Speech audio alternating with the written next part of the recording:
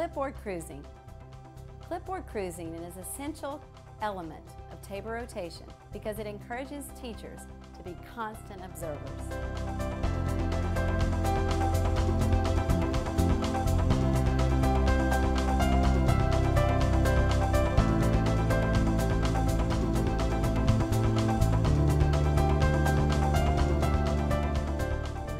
But it's that ongoing assessment week by week that's going to make the biggest difference because that's where the teacher can make the biggest impact.